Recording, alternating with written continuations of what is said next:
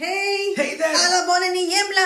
Claudio och jag kommer till er och spelar den 14 maj. Då ska ni sjunga och dansa med oss. Och vet ni varför? För vi ska ju fira Pride och så ska vi fira förskolans dag. Är ni med då? Vi får titta på videon. Hej då!